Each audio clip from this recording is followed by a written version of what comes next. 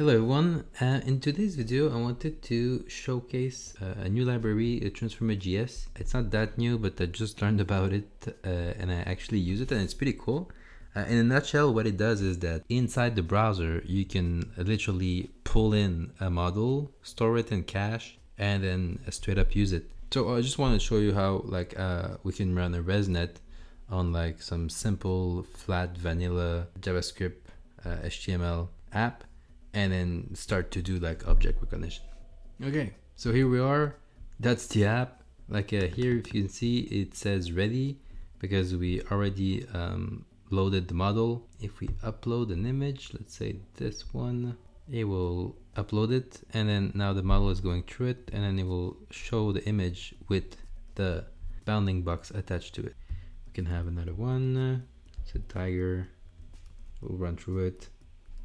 So the model is running locally. That's that's the cool thing. You download the weight, you jam the image through it.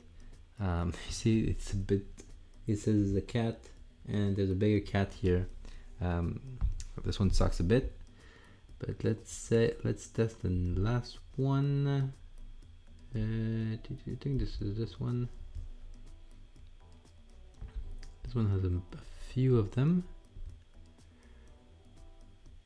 Okay, there we go. So we have giraffe, giraffe, giraffe, bunch of giraffe that shouldn't exist, a zebra and a two zebra here. Um, that, that's cool because like I could have shut off internet and then it will still have worked. Let's jump into the code to see how it's set up. It's pretty easy. Okay, so here we are in the code, like a, a very, very flat code base. There is basically three file of interest. So you have the HTML file, some basic stuff here. Here there's the head of the HTML. If you look here, there's absolutely nothing of interest except the style sheet. That I'm gonna go through it in a second. And then over here you have like the main container where stuff are happening.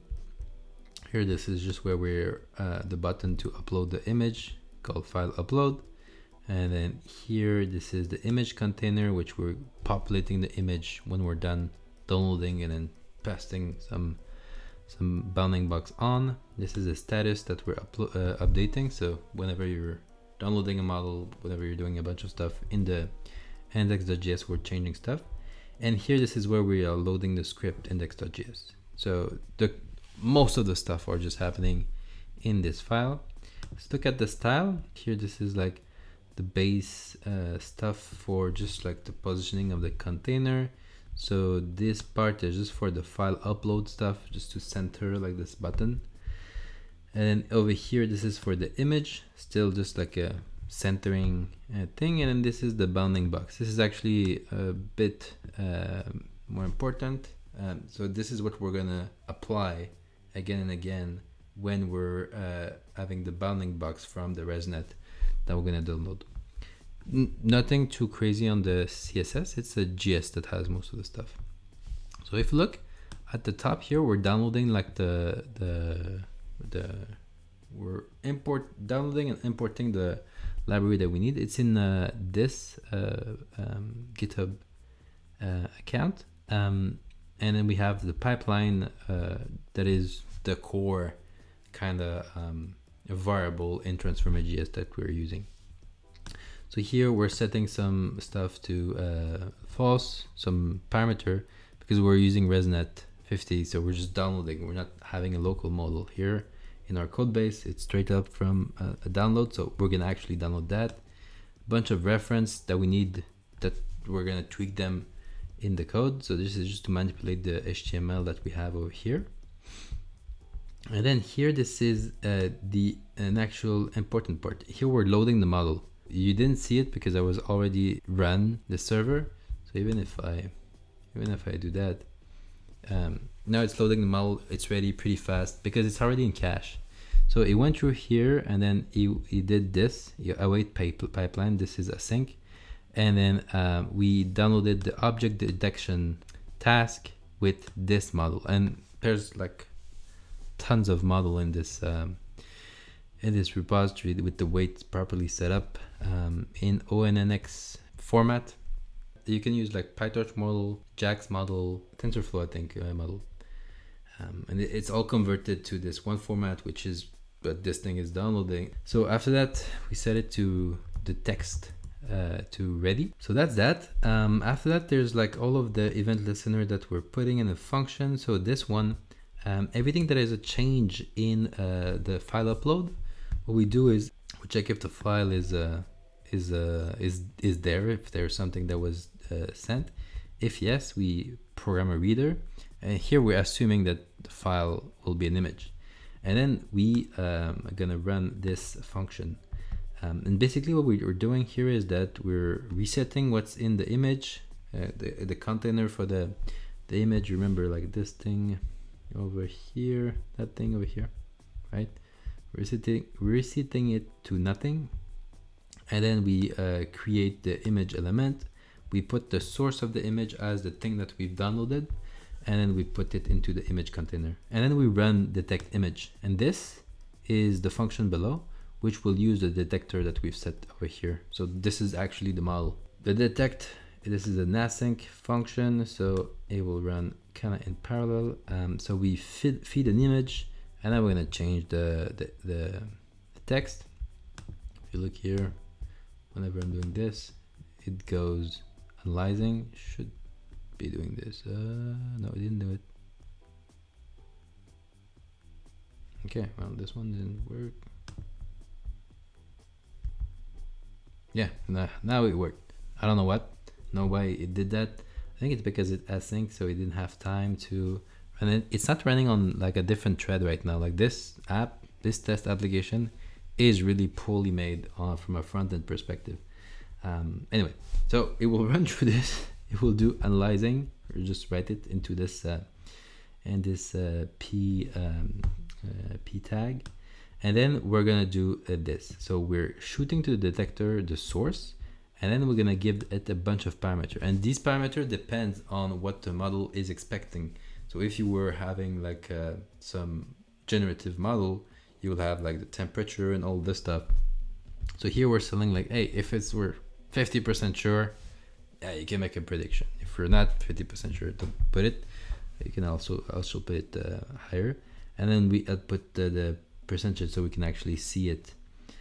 Um, and then here console log.output, this is where we put the output of this thing. So if we go here, then we inspect, look at the console, you see here the output. So this was before with like the giraffe and stuff. Here you see like, it's pretty confident it's a cat, but it's not. Um, maybe they, they never saw a tiger in the in the training set, but uh, I'm not sure about that. I think it was trained on image that should have seen a tiger. Anyway, so we have the output, we put it there. And then for each output, we're doing this thing, which is kind of cosmetic thing. We don't need to do that actually. Like we can just comment this out. Well, we can comment this out and it will still work, but we're not going to be able to see the bounding box. So here we'll do for each of the output, these things, which are object, with a score and a label and a box you will do render box. So you will do this function here, right? Which will take the input and then the input, remember it's this object, which has score label box and you will do box and uh, it will, it will uh, deconstruct the box and the label variable and you will not care about the score in this particular instance and then you will do um, deconstruct the box with the min the, the max the min the y max, y max, y min. And then it will do a bunch of things to define like what color it will take, right, randomly, and then how to set up the the borders so that it fit kind of well. So this is just like cosmetically thing to draw the thing, and here it will take the style from um, from this part over here. Okay, so then once this is done, we're just drawing the stuff that we've created over there.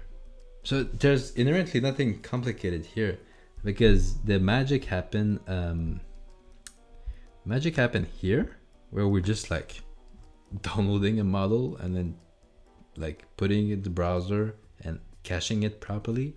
This is cool. And then the other magic stuff that happen is in this function here. So just like calling the detector, right? And that's it. So I think it, it's a it's a pretty simple library and, and concept of instead of like sending your information and your image to a server to have it like run a model and then shoot you back like the parameter. You flip the idea and you're like well the model is pre-trained. This is what how you use it. Here you go. Here you here's the model. Um, you use it and do whatever you need to do with it. Um, i like this idea because it's more like depending on the model size if it's we're talking terabyte this doesn't work but like if it's if it's fairly small um, fairly well contained well then you shoot the weight to um, to the to the client and the client just manage the whole thing. So from a like a also a software development perspective it give us it give much more flexibility to the front end team to actually do something that is that is good. And it really separate the concern now. You don't need to have like front end and back end and all of this stuff. You need to make the model make sure it work well and then like host it somewhere that you can download here right? And then compact it so that it can be downloaded. And once it's downloaded you have the caching and then you have you can you can do the the right stuff that you need to do here without so complicated backend and whatnot. Um yeah so was pretty excited about this uh, library. You should check it out. Uh, fairly easy to get set up. Um and that's it. I hope you uh, enjoyed this uh, short tutorial. If you have any question do let me know in the comments